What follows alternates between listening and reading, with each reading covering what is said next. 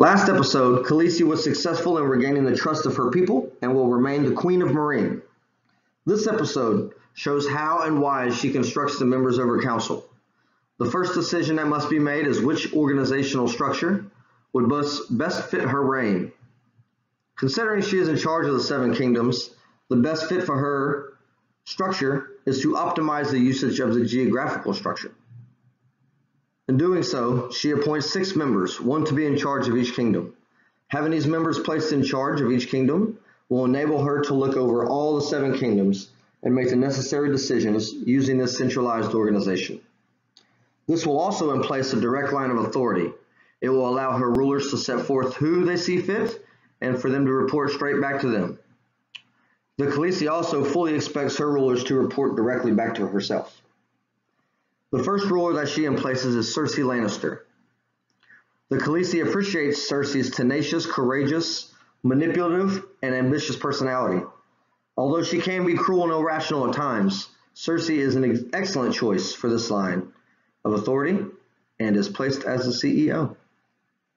Tommen Baratheon is the next member that is appointed. This decision was made because of the values that Baratheon holds. Although he can be gullible and is blinded by his love, his holiness, justice, and strength are great assets in order to be the ruler of a kingdom. Third member chosen will be Margaery Tyrell. She has strong-minded, driven, likable, and a very charitable personality. Although she is completely loyal to the House Tyrell, Marjorie is simply the most qualified for the position of this kingdom. Next will be the High Sparrow. The High Sparrow is set to be the ruler of the sparrows because his ambitious yet humble and wise demeanor. Khaleesi must make sure to watch this kingdom rather closely because he does have a habit of being ruthless and fanatical in his own beliefs.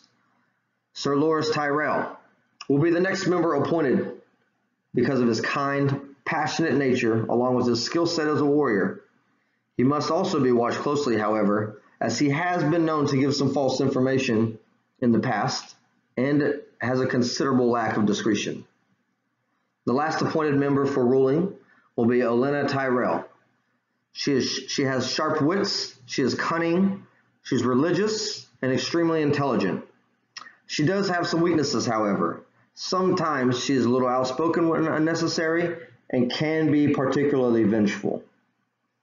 With all the members in order and rulers established over the seven kingdoms, she has her formalization put together very well and has set up a good, direct organizational structure and will be able to help maintain control over her seven kingdoms.